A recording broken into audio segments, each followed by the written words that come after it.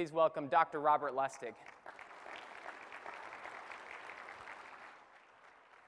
Thanks so much. Thank you so much, Dave. And uh, thank you all for being here. Thank Mark Benioff for providing this wonderful venue for all of you. And uh, thank my colleagues and uh, co speakers today uh, as well. Uh, before I get started, I want to mention that I have no disclosures. Is this, the, there we go, there we go, no disclosures. Um, all right, before I get started, I want you all to look to the left of you, look to the right of you. One of the three of you is obese. Truly. Because here's the data. Take a look.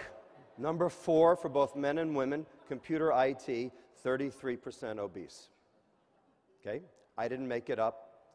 Okay? This is San Francisco, so it's a little bit thinner than the rest of the country, but you know, I'm telling you, this, is this here's the data. I didn't. Anyway, are we indeed fat for life? Our children are now uh, tipping the scales like you can't believe. We're doing bariatric surgery on children.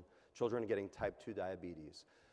The important thing is not so much that we're obese, but that of those 33% of you out there that uh, that slide referred to, 80% of you will die of complications of your obesity. That is, type 2 diabetes, hypertension, cardiovascular disease, and also cancer and Alzheimer's disease. These are all chronic metabolic diseases that come not just from inactivity, but from a very specific thing in our environment that we actually put there and that we're going to have to fix. And that's what this talk is about. Now, obesity has been around for as long as there have been people. This is a statue, an 11 inch statue, in a Vienna museum called the Venus von Willendorf. It is dated back to 22,000 BC. It was unearthed in 1908. And what it shows is that the ancients knew about obesity before they knew about Burger King. But something in the last 30 years has clearly happened because instead of 5% of people being above the 95th percentile of BMI, now 30% of people are above the 95th percentile. So, what has happened? How did we get here? And how did we get here so fast? That's what today is about. To understand obesity, we have to understand the first law of thermodynamics. Now, not all of you took physics, so I will state it for you very clearly. The total energy inside a closed system remains constant. I believe in the first law. I am a great proponent of the first law. But there are two interpretations of that first law. The interpretation that you've been taught, both in school and by the media and by our government, is the following If you eat it, you better burn it or you're going to store it.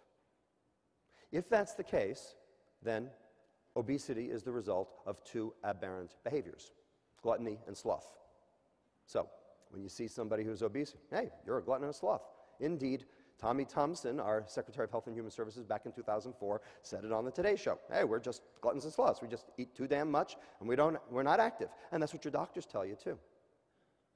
You go to the doctor, you say, Why am I obese? Oh, you eat less, exercise more. Well, guess what? Eat less, exercise more doesn't work. If it worked, we wouldn't have this problem. Indeed, Mark Larrett just talked about the future of healthcare. I'm here to tell you that we wouldn't need healthcare reform if we had obesity reform because it's chewing through $200 billion in healthcare dollars every single year.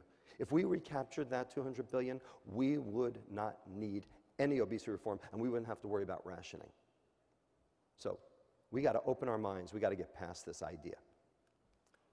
The dogma a calorie is a calorie. If you eat more than you burn, you're going to gain weight. If you burn more than you eat, you're going to lose weight.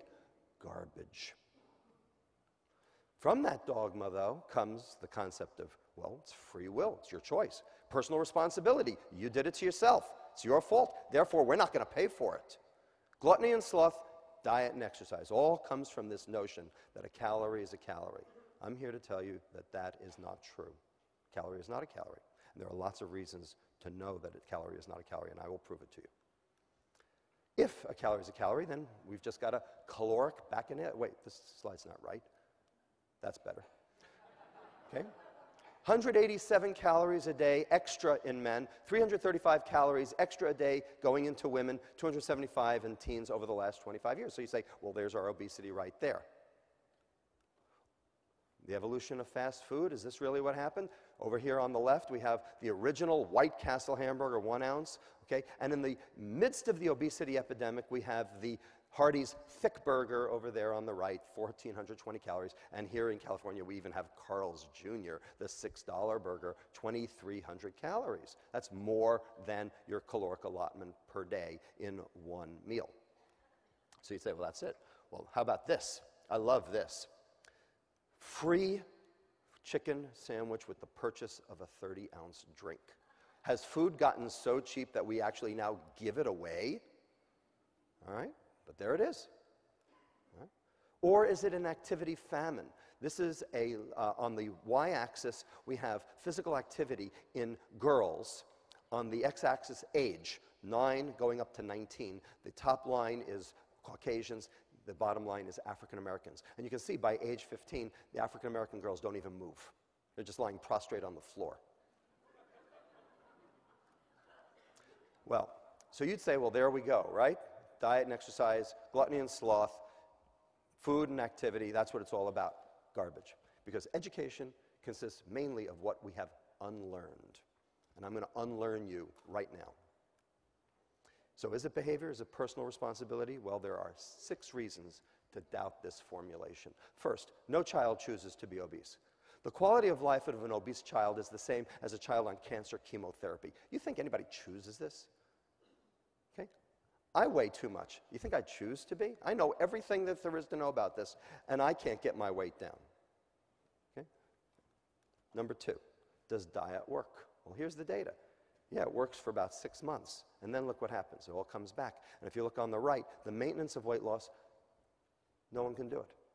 No one can do it. In fact, we know that. That's why we have the, this obesity epidemic. How about exercise? The vertical line is the identity line, and here are a bunch of meta analyses plotted against uh, each other to show that when compared with no treatment, exercise resulted in a one kilo weight loss. Well, if burning energy makes you lose weight, then exercise should work. But it doesn't. So you say, well, that's because they're non compliant. Garbage. They're not. That's not what it's about. And number three, it's not just about America. It's not just about the UK, not just about Australia, it's on the rise in every single developed and also developing country. I just came back from Malaysia where I got this cold, okay? And they've got the highest incidence of obesity and diabetes in the world. Malaysia, okay? Number four, the poor are disproportionately affected. Well, you know, they don't have choices. They don't even have supermarkets. They don't have the choice of being able to say, I'm going to eat healthy. They can't let their kid out of the house for fear of crime. If you don't have a choice, is it really personal responsibility? Think about it. Number five, the prevalence of obesity is going up faster in kids, especially toddlers, two to five year olds, than it is even in adults, as you can see in the green line here. And finally, number six, my favorite, we even have an epidemic of obese six month olds. They don't diet and exercise. How are you going to explain that? So, any hypothesis you want to proffer to me about explaining the obesity epidemic has to be able to explain this as well. You can't. In fact, it's because a calorie is a calorie is wrong. And I'm going to show you how right now. All right, you want to talk about calories? I really don't, but let's talk. 275 calories a day extra in teen boys. What are they? What are they consuming? Is it fat? No, not really. 5 grams, 45 calories in teen boys. It's not the fat, people. Okay? In fact, as our percent calories from fat has gone from 40% to 30% because of the mandate from the AHA, the AMA, and the USDA back in 1982, we have actually accomplished that from 40 to 30%. And look at our obesity prevalence has just gone through the roof. And it's not because we've increased our fat intake. What have we increased? Our carbohydrate. 57 grams, 228 calories in teen boys, and specifically beverage intake. 41% increase in soft drinks, 35% increase in fruit drinks, fruit aids, etc. For those of you who like the thermodynamic law, one can of soda a day is 150 calories times 365 days a year. Divide by the magic number of 3,500 calories in a pound. Yes, if you eat or drink 3,500 calories more than you burn, you will gain one pound of fat. That is true. 15 and a half pounds of fat per year. And our kids aren't drinking one soft drink, they're drinking four. Okay? Come to my clinic and see for yourself. All right, so what's in soft drinks? In fact, what's in all our food? Well, in America, a lot of this stuff is what we call high fructose corn syrup, the most demonized additive known to man. If you look on the left, you'll see a molecule of glucose, a six membered ring, and a molecule of fructose, a five membered ring. High fructose corn syrup from the Corn Refiners Association is either 42 or 55% fructose. It's the fructose part that we're talking about because that's the sweet part. Glucose is not sweet. Glucose is what's in starch. Starch is not sweet. Fructose is sweet. That's what makes you want more, the sweet. Sucrose, table sugar, plain old cane beet sugar, the stuff you put in your coffee, that's the stuff on the bottom. Okay, same thing. Six membered ring, five membered ring, just bound together through an ether linkage. There's an enzyme in your intestine that cleaves that in about a nanosecond. Basically, it's a wash. High fructose corn syrup sugar, no difference. Everybody wants to make this about high fructose corn syrup. It's not. It's about all the sugar because they're the same. High, Corn Refiners Association tries to actually make you know, something of that. The new, you know, uh, uh, their new campaign, you know, corn sugar, you know, because it's natural. It is natural. I'm not even arguing that. Point is, they're equally bad. Equally bad, equally poisonous. I said it, and you'll see why. So here's the secular trend in fructose consumption, that five membered ring, the sweet part, the problem part. The natural consumption of fructose from fruits and vegetables, like our ancestors did, say, 100 years ago, 15 grams a day when you ate what came out of the ground. And our livers can handle that. Prior to World War II, with the advent of the candy industry and the start of the sugar industry in this country, we got up to about 20 grams of fructose per day. By 1977, just before the advent of high fructose corn syrup into our diet, we got to about 37 grams a day, which is 8% of our total caloric intake. By 1994, we were up to 55 grams a day, or 10% of our total caloric intake. And now adolescents are up to 75 and even 90 and 100 grams of fructose per day, 15% of our total caloric intake per day. So double that for total sugar, because that's, remember, because it's two molecules. So that's 30% of your total diet calories are coming from sugar alone. And the question is, what does that do to you? That's what this is about. So not only are we consuming more calories, but we're consuming more of those calories as fructose. And ultimately, this takes a toll. This ultimately makes something happen. So back in the 1980s, we said dietary fat was bad. The percent fat went down. Well, you know what? When you take the fat out of the food, what does it taste like? It tastes like cardboard. Food industry knows that. They have to substitute it with something. So what they substitute it with? Sugar, right, exactly. So SnackWells. Everybody know SnackWells? Two grams of fat out, 13 grams of carbohydrate in, four of which were sugars. Okay? Do anything for our waistline? Only made it go up. Okay? The point is that fructose is not glucose. The common wisdom out there is that sugar is just empty calories. And you can get your empty calories from any food you want, right? You can eat extra of this, that, the other thing. The point is that sugar is not empty calories. Sugar is toxic beyond its caloric equivalent.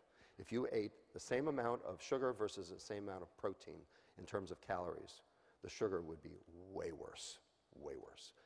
Because the liver metabolizes fructose differently than it does glucose. And chronic fructose exposure alone promotes all of those chronic metabolic diseases I told you about before, called the metabolic syndrome. And lastly, fructose tricks the brain into making you want more. And the food industry knows that. And that's why they put fructose into everything. Everything. Things that never had fructose before ketchup, barbecue sauce, pretzels, hamburger buns, you name it 31 out of 32 uh, uh, commercially available breads at Safeway today have high fructose corn syrup in them. Do you know why? Number one, it browns better. Well, that's browning your arteries as we speak. Number two, shelf life. Everybody remember bread boxes? Anybody ever see a bread box anymore? Where'd they go? How come? Because the bread doesn't stale. How come the bread doesn't stale? Th- Anybody ever think about it? It's because the sugar that they put in the bread actually takes the place of water. And when the water, because if the water dries out, then the bread stales. But when the sugar displaces the water, it's called water activity, the bread doesn't stale. No bread boxes. Shelf life, lower depreciation, profit. Got it? Okay. So I'm going to show you now why glucose and fructose are different. And I'm going to do it very simply because you didn't have science. Okay? But let's consume 120 calories in glucose. Two slices of white bread, not the stuff at the store, but the stuff you know your mother makes. Okay? Or a quarter cup of rice, anything. Okay? 80% of that 120 calories will be metabolized by all the organs in the body over here on the right. Because every organ in the body can metabolize glucose. 20, excuse me, 20% or 24 calories will hit the liver. Let's follow those 24 calories. Okay, and I'm not going to make a big deal of this. All I want you to do is see that big white arrow. It's pointing at a compound called glycogen. Glycogen is the liver storage form of glucose, and glycogen is non toxic. The overwhelming majority of the glucose you consume ends up as glycogen, and your liver can handle it because glycogen is non toxic. Your liver can store any amount of glycogen it needs, and I can prove it to you marathoning carb loaders. Okay? They're making glycogen hand over fist. Doesn't hurt their liver any, because okay? glucose is okay. Now let's talk about something that's not okay. Let's talk about a different carbohydrate. My favorite carbohydrate, maybe yours too. Okay? It's carbohydrate, ethanol, carbon, hydrogen, oxygen, but we know that ethanol is also a toxin. It's two toxins in one. You wrap your Lamborghini around a tree, you fry your liver. Right? Acute and chronic ethanol exposure. Okay? We're only going to talk about the chronic today. Let's show you what happens with ethanol. So let's consume 120 calories in, of ethanol. Shot of maker's mark. Okay? So before, two slices of white bread, now it's a shot of maker's mark, same number of calories, isocaloric, but not isometabolic, you'll see. So, what happens? 24 of those calories get taken right off the table because the stomach, intestine metabolize some by the, something called the first pass effect, and the kidney, muscle, and brain can use another 10%. So there goes 24 calories off the, off the top, top. 96 calories hitting the liver. How many with glucose? 24. How many with ethanol? 96. Four times the substrate, and that's the problem. This is a dose phenomenon. How many calories the liver gets is what this is all about. Okay? So let's follow that. 96 calories. Here's the ethanol going into the liver. You see glycogen anywhere? What do you see? You see it all going down to this little box down at the bottom. That's called your mitochondria. Your mitochondria is the furnace of your cell that burns the energy. And when you overload your mitochondria, you get what, you, what I call mitochondrial meltdown. You get reactive oxygen species, you get toxins that form that ultimately kill the cell. So any foodstuff that gets the uh, compound to your mitochondria without diverting it to glycogen first causes trouble. And ethanol does that. And that's why ethanol fries your liver. Everybody get the picture? See what the problem is? And insulin's the way you make glycogen. You see insulin anywhere on this? It's not happening because ethanol doesn't need insulin. So when your mitochondria get overloaded, you get a problem. We got 96 calories hitting your mitochondria. How many did we have before? Almost none. Now, to the main event fructose. Let's consume 120 calories in sucrose, glass of orange juice, eight ounces of orange juice. So, we have two, uh, we have two slices of white bread, shot of maker's mark, glass of orange juice. Isocaloric, but not isometabolic. What happens to that? So 40, uh, the glucose of the fructose does the same 20-80 split it did before. So 12 calories hitting the liver, plus the whole 60 of fructose, because only the liver can metabolize fructose. Well, here's what happens. That's a lot of arrows, isn't it? Okay, you see glycogen anywhere on there? Not at all. You see a lot of stuff going to the mitochondria, though, and it's causing a lot of problems. It's causing hypertension, hyperinsulinemia, hepatic insulin resistance, dyslipidemia, muscle insulin resistance, obesity, and also fructose has an effect on the brain to cause continued consumption, which I will show you right now. So, what's the difference? We got 150 calories in a can of Coke, 150 calories, that's a can of beer if we go back one. Okay, that was supposed to be a can of, there we go, can of beer, okay? 3.6% alcohol, 90 calories of alcohol, 60 of maltose, that's glucose. Okay, when you do the first pass effect, when you do the calories hitting the liver, notice they're the same. So we have this phenomenon in America called beer belly. Well, welcome to soda belly, because that's what we suffer from. That's America. That's our kids. They're getting the same diseases for the same reasons through the same mechanisms because fructose and ethanol are indistinguishable at the level of the liver. And it makes sense that that would even be the case because, after all, where do you get ethanol from? Fermentation of fructose. It's called wine. We do it up in Napa. So the big difference between the two is that for ethanol, the yeast does the first step in metabolism, and for fructose, we do our own first step. But once it gets to the mitochondria, it's all the same, and it's causing disease. In addition, junk food addiction may be a clue to obesity. How about that? You've heard this before junk food addict, right? I'm going to prove to you, from, well, not prove, I'm going to suggest to you that this is actually indeed the case. Okay? Because the criteria for a substance to be addictive are the following binging, withdrawal, craving, and cross sensitization with other drugs of abuse. That is, if you get, expose uh, uh, an animal or a patient to one drug for a while and then take that one away and then expose them to a second drug of abuse, they actually get a heightened physiologic response. That's cross sensitization. Fructose does all of those. And I'm going to show you one of them right now. Anybody see this movie? Yes? Supersize Me? I'm going to play you one 20 second clip from Supersize Me. You watch. I was feeling bad in the car, feeling like shit. Really. I was feeling really, really sick and unhappy. Started eating. Feel great. Feel really good now. I feel so good, it's crazy. Isn't that right, baby? That was on day 18 of his little ordeal. This is a guy who ate vegan because his, his girlfriend was a vegan chef. In 18 days, he just described drug withdrawal. Everybody got it? You can do it to anybody in 18 days. Indeed, that's what the, the animal studies show too. Three weeks, and you're addicted. He's addicted at 18 days. It wasn't the high fat diet he was on, it was the high sugar diet. It was those supersized drinks. So, what I'm going to propose to you is that we think about that first law completely differently. Here's how I think we should state it. If you're going to store it, that is an obligate weight gain set up by biochemical forces out of your control, and you expect to burn it. That is normal energy expenditure for normal quality of life. Because energy expenditure and quality of life are the same thing. How many calories you burn and how good you feel are the same thing.